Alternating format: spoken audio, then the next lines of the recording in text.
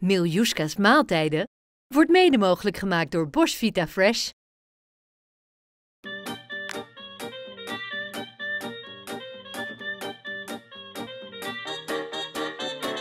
Ik hou echt intens veel van mijn kinderen, maar soms kan ik ze achter behang plakken en heb ik geen zin in gezeur over groenten.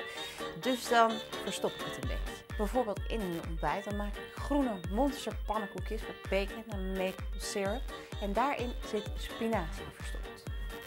Terwijl de bacon staat te bakken, ga ik alvast de droge ingrediënten door elkaar mixen. Daarvoor hebben we nodig een beetje suiker, wat baking wat bakpoeder, volkorenbloem. Dat is een stuk gezonder.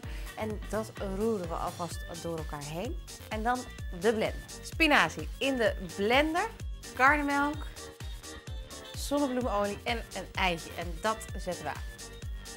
Zo, dat is een mooie groene smurrie. En die gaan we door de bloem heen mengen. Kijk eens aan, het lijkt wel een Ninja Turtle Party. En dan gaan we het bakken.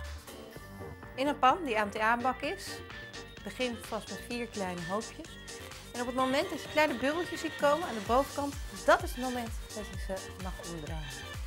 Opstapelen, de bacon erop, maple syrup eroverheen. Wauw, dat ziet er toch echt prachtig uit.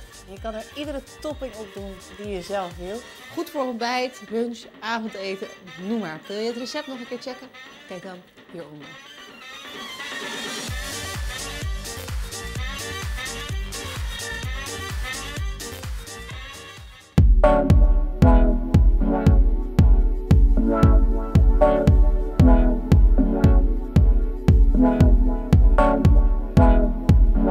Miljuska's Maaltijden wordt mede mogelijk gemaakt door Bosch Vita Fresh.